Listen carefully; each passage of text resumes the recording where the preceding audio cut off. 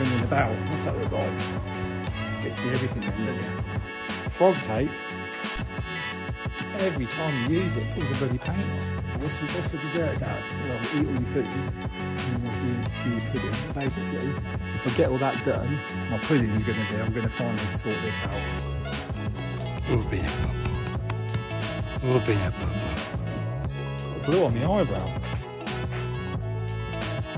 Sort of glue baked beans. Blue. Good morning. Tuesday morning. Matt here. Watts Joinery? Took about 20 minutes to get that right. It's not even that good. Right, um, yeah, so I didn't work yesterday uh, because didn't feel particularly well and had loads of uh, bookwork to catch up on and just pr- uh, prices mainly, quotes. So I just thought I'd get them out of the way. Um, what have I done? I've been here for an hour or so and I finished off these drawers. They're in last week's video. Right, okay, cool. What am I going to do? Well, I still feel a bit rough to be fair. Um, right then, so uh, what we're going to do today is we've got a solid lip, these drawers I made. Uh, I've got these offcuts here from the shelves from last week. Some I'll just have to scrap because there's nothing I'm going to do with that. It's just going to be dangerous trying to sort that out. I'll get probably four out of that, two or three out of that, four out of that. Um, which are actually really nice pieces, believe it or not, underneath. They're lovely pieces. Right, so what I'm going to do, I'm going to do a wee bit of filming of just me processing that, I guess.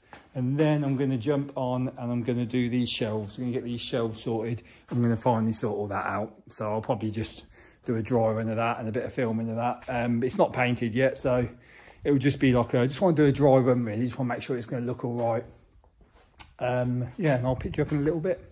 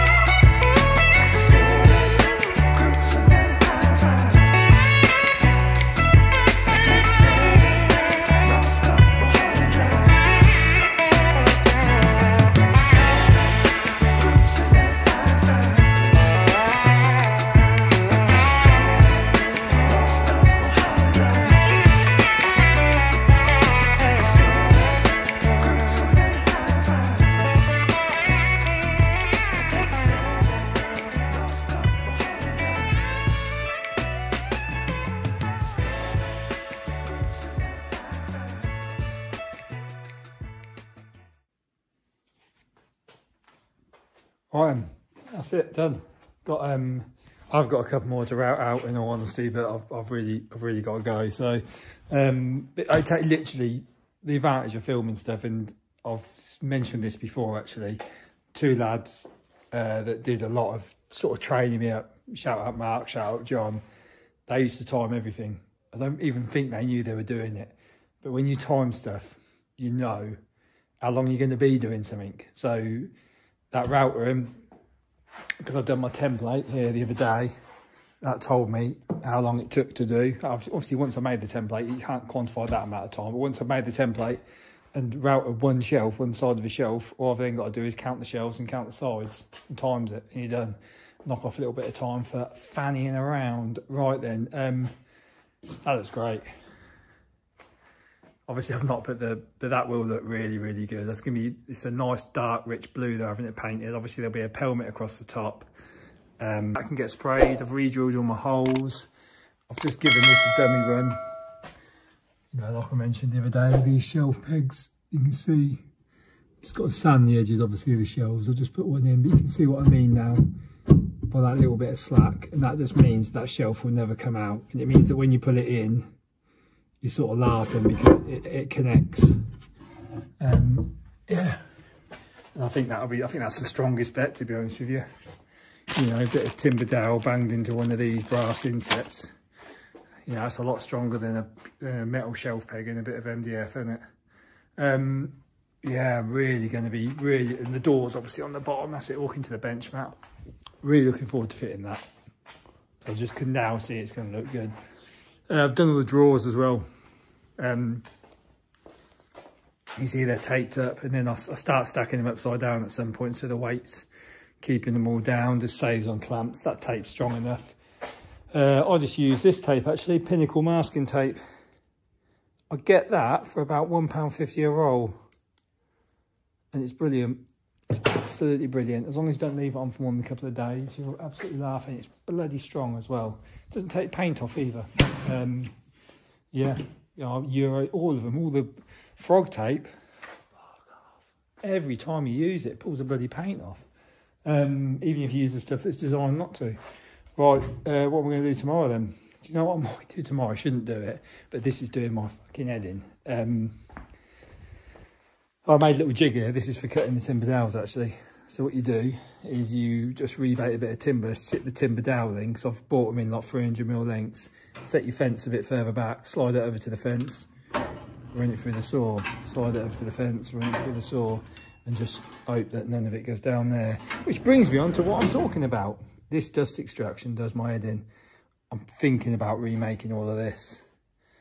Um, and redoing all of it, just basically remaking a bit, a shroud to go around here, a shroud to go around here with brush seals, sealing all of that because it all just escapes out of there.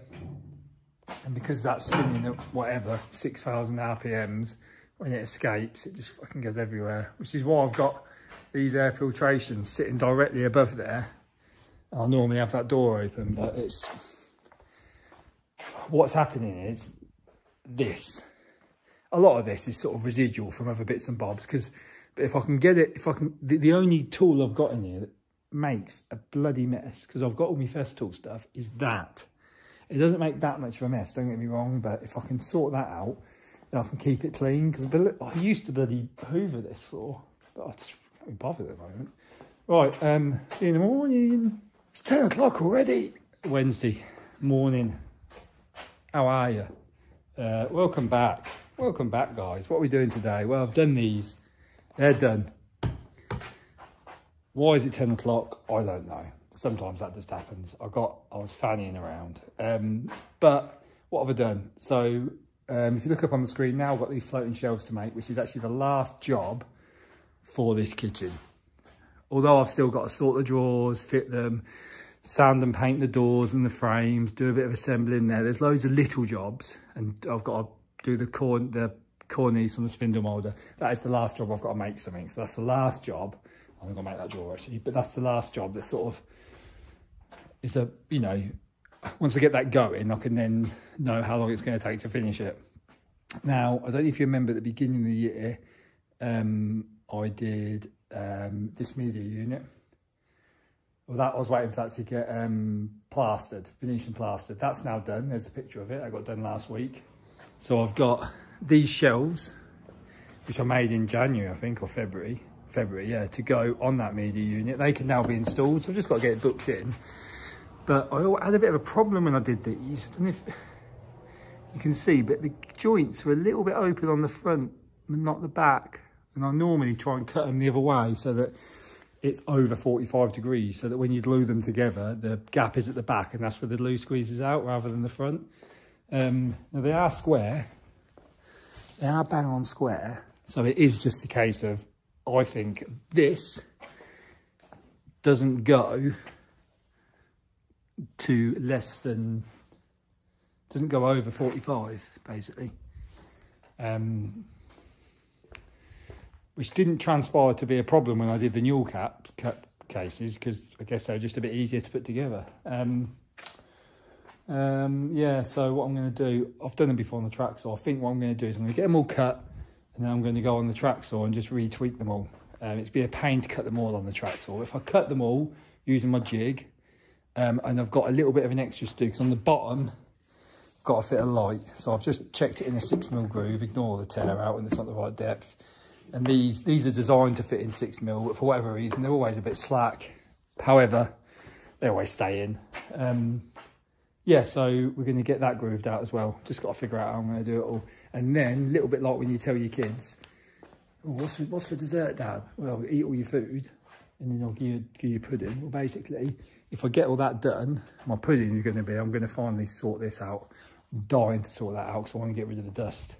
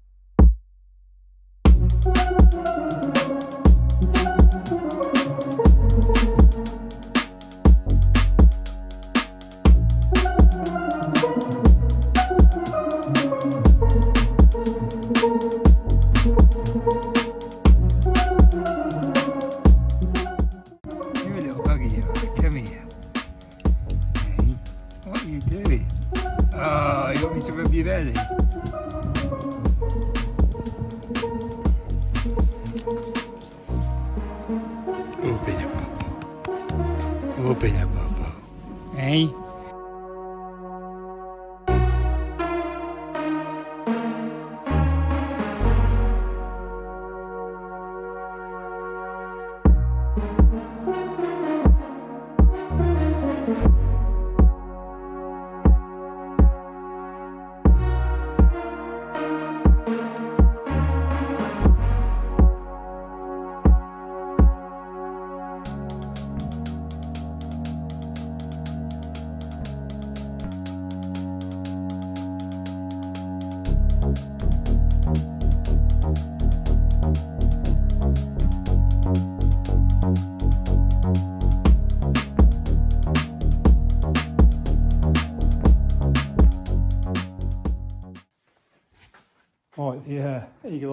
eagle-eyed you will notice that the old, um, where is it? The old TS55 came out.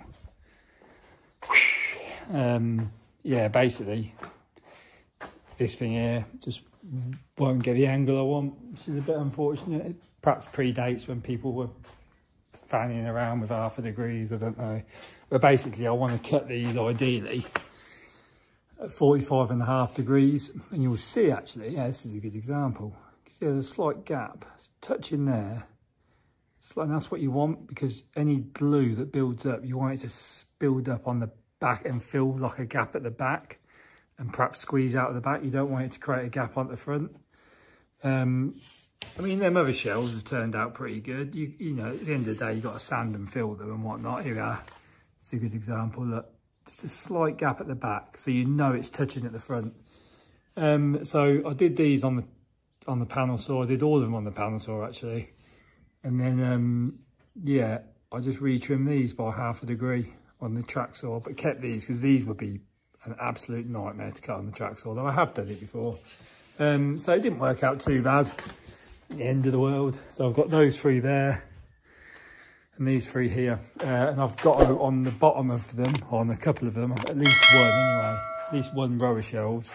We're going to put that lighting groove in that I showed you this morning. I haven't got a lot of time left now because it's um that took a lot longer because I had to recut every one, but I'm not I'm not bothered. Uh, it's done, but I can't understand this. I've started taking this apart. This will be quite easy to do. This is just my template. You can see that needs redoing. Uh, I'm not going to put a bit of perspex back because I haven't got any. I thought I did have some, but which I might have some. But anyway, um, the hell's this? What is this about? Oh, I feel like this has been put in by someone else. Because none of the holes line up. It's riveted. Nothing else has been riveted on. It's not any material of anything else on this saw that I can see. It's kind of quite rough. I don't know whether someone put that on there to stop things getting stuck up there. I don't know. But if you think about it, the blade spins that way. So it's going to be kicking the dust up. Well, why is that?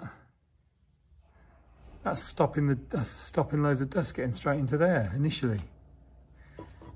There's a tiny gap down the back but, you know, unless I get that perfectly lined up with air, so that blade's going to go not, and all the, I'm right, aren't I? Push it through. I mean, even if the dust comes out of here, which is what I think it's designed to do, that's still surely only limiting.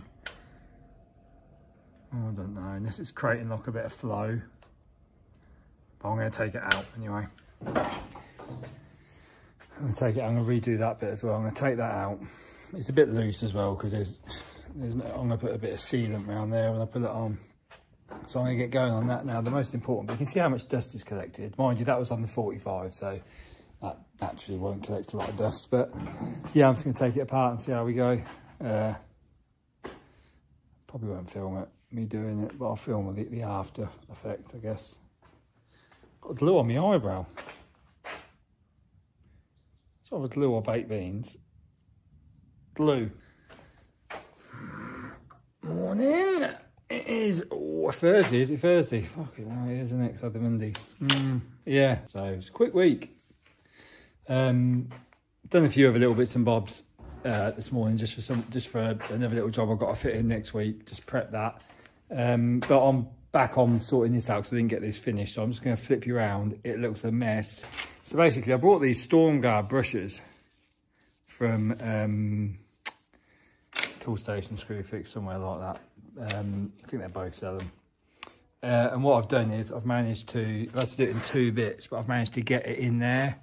So this, because this undercarriage bit, the bit that holds the blade that goes backwards and swings for your 45s and that, it has to be loose because it has to move to do, you can see it slides in this rebate because it has to do all your combination cuts. I've managed to fit this into into it. It's a right mess because I've had to do it in three bits. Because A, I didn't quite have enough, so I've had to cut it out. I could have done it in two. You can't get that in in one without taking all this assembly out. Um, and I've had problems taking this out before, so I didn't really want it. It's set perfectly at the moment, so I'd rather leave it. Um, yeah, it looks awful, but it does like a tight seal. And then I've done here, but I cocked up here. You can see I've glued it to something and then realised that that interferes when you move it. I realised that last night, so I just, well, yesterday afternoon before I went home. So I've offset that now and packed it out and put a screw in, just painted it black to make it look a bit tidy. I've screwed another piece of timber into here, um, which I basically worked out. What I decided to do was work out how high the riving now actually needs to come for me to be able to take the blade out. Everything else I don't care about because I just, you know, I'm never going to do, I mean, the blade's like 350 mil. I'm never going to cut anything that big. And if I do, all I've got to do is unscrew that. I put a machine screw on it so it can unscrew in and out nice and easy. Um, and then, yeah, I've just done the front of this. You can see I've still got a bit of adhesive there. It is screwed. I've got a basically, I'm letting that glue go off and I'll replace that with a machine screw. Um, I'm just finding the machine screws really hard, same with this, really hard to get in because you've got to do them up by hand. So I'm just getting it in with the driver first. Uh, just purely because, yeah, I'm, yeah, and then I've got this bit here, you can see I've just ploughed a wood screw in there, got some adhesive on it, I've done the same on the back. I'm going to replace those like I have those with these machine screws, but it's just easier to drive a wood screw in sometimes you do that when you put hinges on a door like you hang a door and you know you're going to take it off again just use the ordinary screws because some like machine these stainless screws are a bit softer so they're going to wear off a bit more as you're using them with a drill. So i'll just use an ordinary screw until i get it in place. Then i'll replace that and just do that with a screwdriver by hand. Um, or i've been using these actual bolts as well just to bolt through. Managed to get my hand in what was a hole here. I've taped some of it up just while i spray.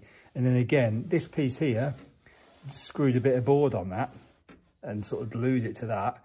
Because that again will never ever the, the, that was just like a, a, gap where sawdust was going and actually bloody I've got little I mean this has been in there years I remember that being cut um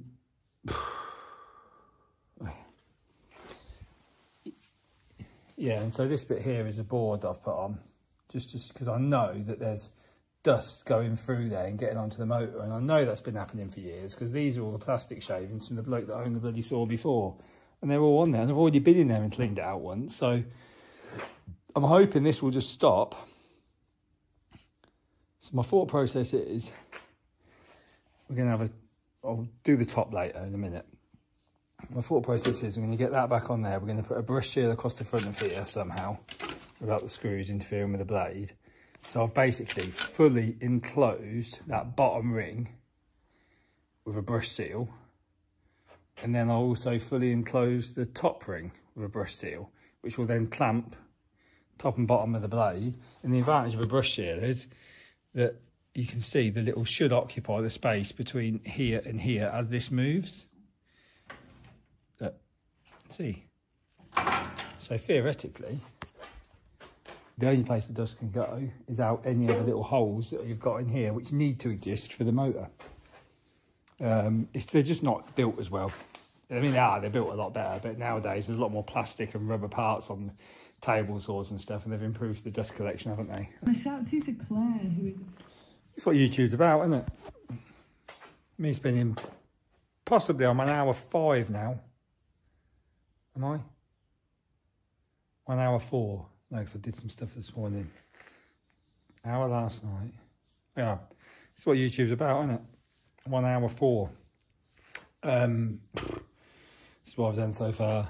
So I've actually finally fully ignored the dust that's on there because I haven't used it yet. This is just from pre-drilling all this. So basically, I finally assembled this back. This is just the safest place to have these bolts, even though they're completely out of the way.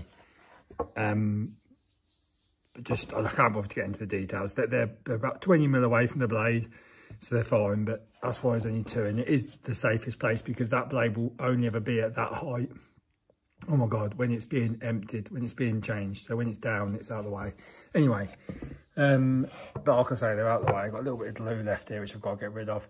But basically, I've brush sealed all the way around. Can you see? So that goes around there. And then if I take this off, you'll see there's that same brush seal thing I've already showed on the back. So that's brush sealed all the way around to the underneath of the table. And when this slides, I'll be able to show you. But it just touches the brushes. I mean, look at that. And then hopefully them brushes aren't going to cause a problem, not too close to the blade. If they are, fuck. And then round here, a bit of a mess, but they've put that back bit on. Um, show you actually properly. So I've put that back bit on. I've had to silicon at the top because it was just, there's just gaps everywhere on it. Um, I've managed to get the handle back on. It's a little bit dusty. Uh, I've got this piece now to go back on here. So we're on the home straight essentially. But what I'm going to do is the plan is this goes on here like this. And that will go, and there's another one that will go all the way around. Then I'll put two on the inside as well. And these little bits of MDF are sort of crudely glued and screwed in here. And basically, there'll be a brush seal doing the opposite on the under, on the above. But in true YouTube style, you're going to see if it works or not. Because once I've done that, no, I've nearly wrote today off. Once I've done that, I'm going to blitz all this just pretty quickly. Give it a sweep and a blowout and a hoover. And I'm going to start cutting some bits and see how good it is. That'd be exciting, wouldn't it? Yeah, probably do a slow motion of the dust. See how you feel about that. So, yeah, you think I'm waffling now, it's all for effectively the next sequence, which is going to be beautiful.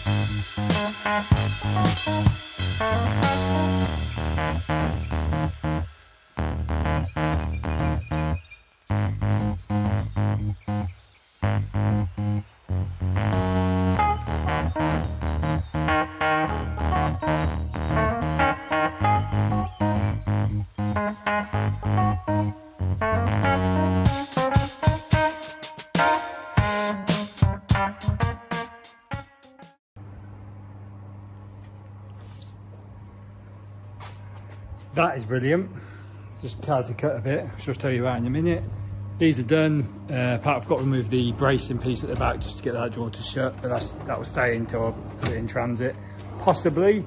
Uh, I only did one, got to do the other one, but I've got my measurements now, so that won't take long. And then obviously the fronts go on there to hide the pocket screws. Full disclosure, I fucked up. I basically routed out the wrong side of one of the drawers. Um, got to blame you really, because I was filming, I took me off the ball. Um, so yeah, basically if you haven't liked or subscribed by now, do, just to make up for it, because it's cost me a fucking drawer. It haven't cost me a drawer, I fixed it. Well, started fixing it anyway, tomorrow I'll do that. I've got a little list of things to do tomorrow, but I've got to go across the job, so I've got to run. Um, do you like me? This is quite good, isn't it? Like running about. What's that look like? Get to see everything then, don't you? That's alright, isn't it? Yeah. Oh. That's what happens when you have nearly a whole bottle of Lucozade. Right, see you in a bit. Right, good morning. Friday morning. Uh, only just actually, but yeah, yeah. So I finished the drawers. Um, I actually uh, this morning cut the transit braces out just so I could fully finish them. Uh, did this one as well because I hadn't actually prepared that one yet. Um, yeah, so there'll be a bin that goes below there, and all I need to do with this one, I was going to have that as a push to open, but the annoyance is that you when you shut it, you have to click them in. I just thought you might, I might just have a scoop because then every drawer shuts the same. It's like a soft close. So I'm going to do a little scoop in that as a little handle. Um, yeah, and then these, so like take this one for argument's sake. I mean, that's what you see on the side as well when it's all done and dusted. Obviously, you'll have a front on there. Um, yeah, and then what I'm going to do now is if you look at um, I'll put a picture up on the screen of the cutlery inserts I do. I do them all that solid oak. Yeah, what I actually normally do is buy oak flooring and reduce that down. Um, but I haven't done it in this case and I just thought, well, it keeps me out of trouble doing it for the rest of the day. I kind of want to go on a bike riding a bit anyway because um, it's just a nice day and I've got my bike with me. So I think I'm going to do a little bit of footage of me processing all this and turn it into what will be the start of the um, cutlery drawer. Uh, see how that goes. How far I get on it, I don't know. Because like I say, I want to go on a bike ride. I might. You never know. I might get a fair bit done. The only downside is I ain't got the right blade for the bandsaw to cut it, so I'm going to have to cut it on the panel saw, which is a ball ache because it's not really, you know, a bit, bit dodgy. But yeah, anyway, um, a bit wasteful as well. But anyway, we'll jump on that.